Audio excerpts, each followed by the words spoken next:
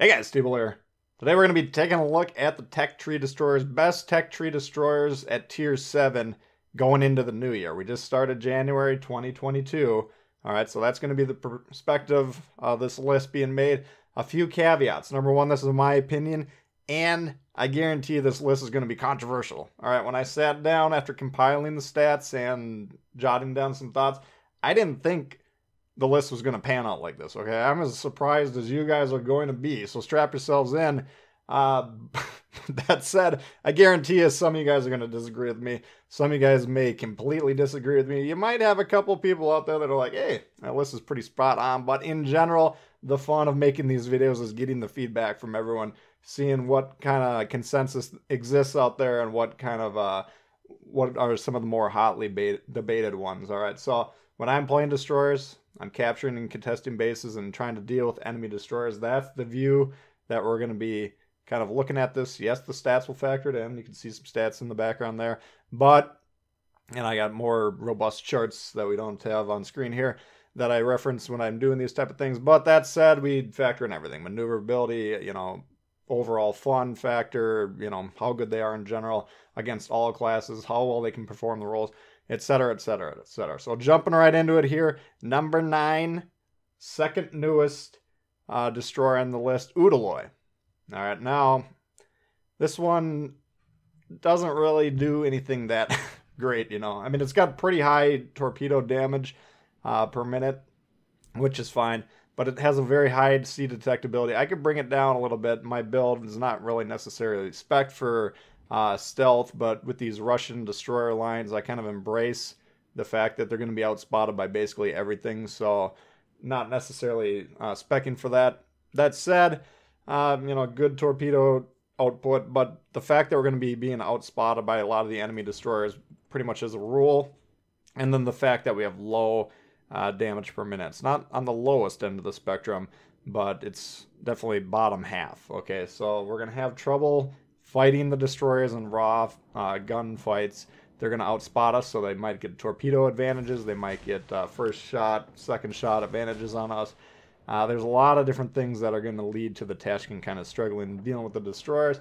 And just the maneuverability in general, you know, it's got a turn radius 610, pretty high, I guess, you know, middle of the pack, but rudder shift long, at least on my builds, 5.9 seconds. So you know, maneuverability wise, not great. Speed is pretty good, you know, but other than that, the maneuverability kind of suffers. The gunfighting, again, a little bit of a letdown for a Russian line of destroyers. And just in general, the strengths of the torpedoes don't necessarily outweigh the negatives of the guns. And the torpedoes, we did we got decent range, eight kilometers, 65 knots, so it's kind of slow. Uh, so combine that with a longer reload, and there's just not a lot to love about the Udaloi in my uh, estimation, at least. Number eight. This one surprised me. I didn't think the Z23 would do that great this year, uh, but I have it second worst. Little bit surprising, especially because you guys know that I do value a good solid uh, sonar and a destroyer. But now that we got the Friesland and the Loyang, uh, we have very good sonars at the uh, tier. We got a lot of radars out there, so sonar is a little bit devalued in general at least on the Z23 because it's you know, it's a good sonar compared to like the Lightning and of course all the other destroyers that don't have sonar, but compared to some of the newer ships that are getting better sonar, and then you factor in the fact that its damage output is trash across the board.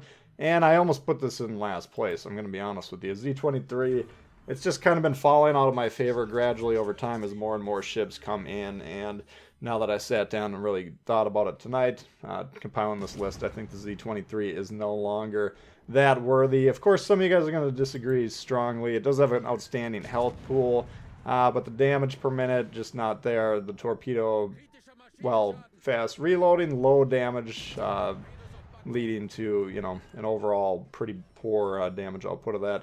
Outstanding concealment and uh, decent maneuverability overall. You know, not the fastest ship, but not the worst moving ship in the world either way, but Z23 dropping in my estimation this year, and I'm going to put it at number eight. Number seven, French destroyer Le Fantasque. This one again will be a little bit controversial. I'm sure some people like that one. That one did take a heavy nerf when the uh, Kleber came out at legendary tier. I think it was a little bit too Kleber esque to begin with, so they chopped it down at the knees. And what we're left with is a below average uh, gun performance ship, medium, uh, middle of the pack, I should say, performance with the torpedoes. You got three launchers, but one of them's dedicated in the middle, one per side, so you do have to be doing a little bit flipping around. Not always viable. And even then, uh, the torpedo output not that great. It does still have outstanding speed, of course. Uh, pretty good concealment. It's it's good at what it does. It ambushes ships. It gets into spots they're not expecting, and then kind of smokes them with high damage torpedoes. You know, so it, does what it does well, but it doesn't have a smoke, which is going to make it above average in terms of difficulty. Uh, again, it does have a tor- it has a gun reload, main gun reloader, but you're gonna need that. You basically need that to survive the uh, destroyer v destroyer fights because you're gonna be losing against most of them except for ships like Z23 and Kagero, and you know it's just the difficulty of the ship and kind of the limited ability to pump out the damage kind of drops it down in my estimation. Again, there's gonna be some fans of that ship the French destroyers are fun and they can be extremely uh, useful, no doubt about it. But in my estimation, below average on the this list. And just keep in mind that all these destroyers are pretty good at tier seven uh, when we're going through this. Tier or number six rather, Japanese gunboat Akizuki, the uh, first destroyer that the line actually splits at, first gunboat on the line. And what is it? It's uh, high HP high damage output, second highest damage output per the main guns at the tier. Uh, torpedo damage abysmal, by far the worst, or at least damage per minute rather. It only has one launcher, uh, reloads just shy of every two minutes. Yeah, it's got great damage, but you're only launching four torps every two minutes. I mean, the damage per minute uh, output is obviously going to be very low in that case. So, the ability for itself to protect itself when being rushed is low. It's better than something like the Friesland that doesn't have any torps whatsoever. But that's what these torps are going to be doing on these gunboats is kind of protecting the ship and limiting the options of ships to push into it. So Akizuki, kind of a clunky little bugger when you're moving it around. Lowest speed at the tier. Concealment pretty good, and AA is something that's newer for these destroyers, and it does have about the second best at the tier. So that should be considered as well. But the, the main uh, thing about the ship is the great HP and the high damage per minute. I think this is a great uh, division player's destroyer. Uh, if you can get this paired up with teammates that you know are going to help protect you, uh, then you can just do some awesome things. I've seen some good players do some uh, nasty, nasty things with the Akizuki, and I've had my own fair share of success with that ship as well. So that's rounding out the bottom half of the packet, number six. Uh, right in the middle, we're going to have Kagero. Okay. Now this ship, destroyer players, destroyer, or you know, it's the purest torpedo boat that we got. A lot of people, when they're playing destroyers, that's all they want to do. And if you don't understand the importance of playing the caps, countering the destroyers, or you just don't care, then you probably got Kagero at number one, okay? But fighting other destroyers has got the worst damage output per the guns, HE, AP, it doesn't matter. And of course, torpedo damage per minute, highest out of all the tech tree, 151, next closest competitor. On my builds, Udaloi at 135, 135,000. So, you know, dramatically different. And the Kagero's gotten some uh, buffs over the years, and cutting down the reload is one way they've been doing it. So, very quick uh, cycling torps on these Kagero. In fact, it's only 66.4 seconds for the reload on my build these days. So very, very dangerous. But once again, uh, you're kind of limited with how you have to deal with all these other destroyers that can uh, beat you. You basically have to help spot them for your teammates, make sure that they help chime in, or else you're going to have to engage them in a limited manner, take a few shots, disengage with the smoke. Hopefully you get them with a torp or something, but as you're disengaging, let the fight reset, go back, and hopefully finish them off now that you have a HP advantage built in after that first engagement. So a bit, little bit trickier there, limiting the versatility. That said, you know, and the other thing to keep in mind about the Kagero is like, let's say you're on a team and you got three Kageros on your team, you're almost certainly going to lose that game because odds are anytime you have a Japanese destroyer on your team, all they're going to try and do is get behind the enemy and either torp the carrier or the battleships that are sitting in the back buffing the Deweys. The least valuable thing the destroyers can possibly do, of course. And if you get multiple uh, Japanese destroyers who tend to get very distracted very easily, then your odds of lo- winning the game go down, losing the game go way up, of course. So, however you want to look at it. But that said, players that understand the Kagero well uh, can make this a very scary platform, of course. So, keep in mind that the Kagero does have great capabilities. Uh, it's just kind of one of the least uh, well played uh, destroyers at Tier 7 that you're going to see. Coming in at four, now we're in the top half of the list here. We got Tashkent, Russian destroyer, the first one, more of a gunboat.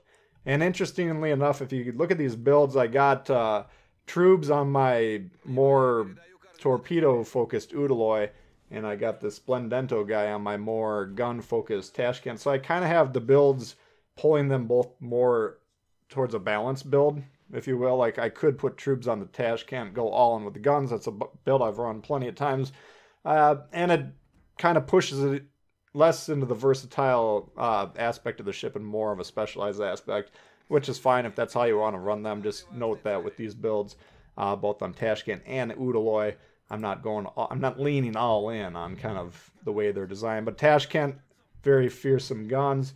Uh, if you do spec with True Trubetskoy or a gun focus, you will be in the top three uh, damage outputs uh, at the tier in terms of HP. AP doesn't matter. With this build, it's third best AP. And with this build, I like it because the torpedo damage is third best as well. So that's why I kind of like this balanced approach. You do have good, hard hitting guns, fast cycling torpedoes, good reload. You got three launchers, three torps. You got to remember that you got three launchers. Uh, if you play the ship occasionally, you might just forget about it launch two once in a while, like I do. Uh, but, you know, you got great damage output across the board. On this build, we do got a little bit of a focus on the detection. That brings it down to 5.8. Of course, you're still going to get outspotted by basically all other destroyers, but that gives us a little bit more wiggle room with the torps. Uh, I've run it a lot without any uh, concealment option as well. And you can certainly do that as well. You just have to understand the flow of the game, okay? You got to draw the destroyers in towards you and your support ships. Uh, rely on the fact that, or understand the fact that you're going to get outspotted by them. But if you're using your support properly, uh, you can get rid of those destroyers. And once those are gone, now you got a little bit of wiggle room to cause all sorts of havoc. You can get it either in uh, positions where you can drop a smoke, start bombing on them using the guns, get behind islands, bomb them with the guns, or even get these torpedoes in play and start launching at cruisers, battleships, whatever else, backline Bettys. So Tashkent, a lot of fun to play, very sturdy. You got a good uh, health pool on this one. I think it's actually still the best at the tier. Looks like, even with the Pablo. No, just right behind the Pablo. Sorry, which is a premium Italian destroyer. But second best health pool at the tier, good versatility overall. I think the Tashkent's a little bit underrated. It might be a little bit harder to play due to the high concealment, but overall, uh, still one of the more effective destroyers. Coming in at number three, UK British destroyer. A lot of people might put this number one. I don't uh, blame you for doing that. Lightning. Six quick cycling smoke charges. Now, Lightning to me is kind of the jack of all trades. You know, it's kind of middle of the pack of basically everything. The damage output, not great. Okay. Uh, but it is middle of the pack in terms of uh, bull shells. Same thing with the torpedo damage. Torpedoes, we got the option to launch singularly, which is a little bit more difficult. If you do it in the quote-unquote widespread launch, it resembles more of a normal launch. It will be a little bit wider than your normal uh, destroyer launch in general, which makes the torpedoes a little bit less effective overall. Um, so I I don't think the damage is great on this. This one could have gone lower on my list, but I just think because it's so good at so many things, I think it has to be in the top three, and here it is at number three. Uh, the sonar it does have it, but it's just a low uh, range one. It's like three, three, three, four, whatever it is, kilometers. Uh, so you're not going to get a huge boost out of that sonar ever. Uh, it's pretty situational. Anything rushing into you, especially battleships, they'll uh, proxy spot you shortly after the sonar actually becomes effective. So you got to be careful with that. But the quick cycling uh, smokes, the high fire starting chance, the good HE performance. Uh, overall, I think it's the fourth best HE damage permitted at the uh, tier. Overall, Lightning, just a lot going for it. Not a lot of downsides. Uh, number two, the most, uh, you know, the Sheriff playstyle. Fletcher, U.S. destroyer, and you guys might be thinking, what's left? What's at number one? Yeah, some of you might have figured it out already, and I'm surprised myself with the number one. But number two, Fletcher, of course, highest damage per minute guns uh, for the tech tree ships, hands down. Okay, the HE damage 247 on my build compared to 205. And this is 100,000 damage per minute potentially on the Akizuki. Alright, so the second strongest gunboat in terms of damage output. So, outstanding damage. Now, it doesn't have the sonars, but it does, you know, at this point in time, due to the prevalence of the radars and the sonars now, you got to be getting good at kind of baiting the use of the sonars, avoiding them, and then looking for opportunities to strike. And if you can catch any other destroyer in kind of a 1v1 situation, you should smash it. Basically, the guns should tear everything to shreds. It will tear other ships to shreds, of course, as well. And even the AP, second highest damage per minute behind the Akizuki there. Uh, if you catch broadside battleships, for instance, pepper the uh, superstructure, you can you can rack up the damage very quickly. Torpedo damage very low. Okay, it's second at second lowest at the tier. In fact, that's due to the fact that it has a really high reload, though. It does have 9.2 kilometer torps, I believe. Uh, let's see. Yep, range slow torps, 55 knots, which is pretty useless basically at tier seven, because uh, that's time to target goes way up, and the odds of anyone moving, changing course, changing speed at tier seven much more likely than at say like a tier three, where a lot of people are just sailing on the straight line, trying to figure out how to aim. Those things you can hit with 55 knot torps, but at tier seven, most players are going to be doing some sort of bobbing and weaving, uh, which makes those torps kind of more or less a little bit on the useless side of things. Uh, good maneuverability though; it's kind of like a fighter maneuverability. Uh, 650 or uh, sorry 560 turn radius speed decent 36.5 mine rudder shift outstanding 3.3 detection a little bit higher you know a little bit above average but overall pretty solid and once again uh, the guns will just kick the crap out of other destroyers. So if you're playing it properly you're not getting uh, beaten by the consumables which is the biggest threat to the Fletcher of course, then you should be winning a lot of the fights. And keep in mind the AA, now that uh, the carriers will be becoming more and more prevalent as time goes on, above average on the AA as well. And number one, like I said, controversy, and this one surprised me as well, but I got Hsienyang. I don't even know how to say it. Asian Destroyer. Uh, now, I'm envisioning this being used under the four smoke option. You do have the option to put the radar on there, which I think is a nice option. It's good for variety and spice of life type of issues. Uh, but in terms of flexibility, I'm kind of viewing this as a lightning with a good set of guns. Okay. And Hsienyang, I didn't realize until I plugged in these stats here, but it does have the third highest HE DPM out of any destroyer, tech tree destroyer tier 7. And that means that it has the tools to win a lot of these destroyer v destroyer fights. Biggest knock in the Hsienyang or whatever is the deep water torps. Okay, we cannot torp the destroyers that we're fighting. That's a disadvantage, no doubt about it. No doubt about it there. But if we can dodge their torps, you know, juke them, get them to launch or whatever, understand when they're launching at us, and we avoid those launches, then we got the guns that we should be winning the majority of these fights. And by the way, outside of torping other destroyers, the torpedoes are very good. Now, the damage isn't huge, it's kind of middle of the pack uh, in terms of damage per minute, but the fact that they basically materialize out of thin air with these low detection torps, uh, very hard to dodge. Okay, now they're slower. They're on the slower side. What are they at here? Uh, 64 knots, so not barn burners by any means, or you know, not screamer torps. But uh, you know, if you can get them on target and you happen to hit them there, they're very hard to dodge, very hard to deal with, uh, which makes those torps pretty uh, good overall. But rudder shift, outstanding turn radius, just a smidge worse than the Fletcher. Speed, great 38 knots. Here we got great maneuverability. Uh, four quick cycling, longer duration torps, or I'm sorry, smokes, which I actually think after playing uh, a fair amount of Hsienyang, just grinding it out and modding it out and everything, I think the, the smoke configuration on this is actually better than the Lightnings, okay? Yeah, the Lightning cycle a little bit more, but these ones we can actually linger around and use a little bit longer. Okay, so you can get better production uh, that way. And, you know, I, I'm kind of surprised about it, uh, but I actually think that this is probably the best tech tree ship. Destroyer at tier 7. Maybe my mind will change in a week. maybe in a month, maybe in a year, maybe never. Maybe I'm just completely delusional at the moment. But that my picks did kind of surprise me when I laid them out. But looking over my list here, I'm not seeing a lot that I personally disagree with. But once again, I do want to hear what you guys think. Has he lost his marbles? Or am I spot on? You know, let me know.